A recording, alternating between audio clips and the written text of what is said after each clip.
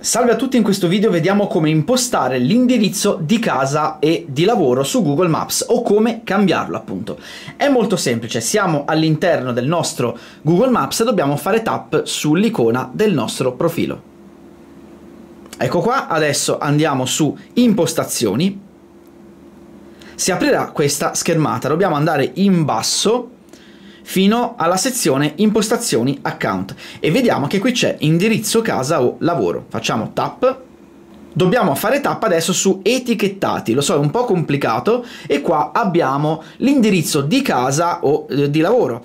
Possiamo fare tre puntini e poi andare a fare modifica casa. Possiamo anche modificare l'icona volendo, possiamo rimuovere l'indirizzo di casa oppure annulla. E quindi questo è quanto e qua stanno le due icone con i due indirizzi da impostare.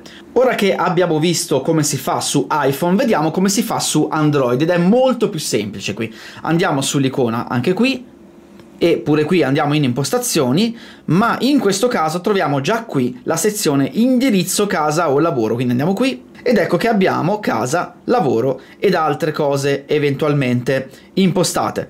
Andiamo a fare qua i tre puntini su casa possiamo fare modifica casa anche qui, rimuovi casa, eccetera, eccetera.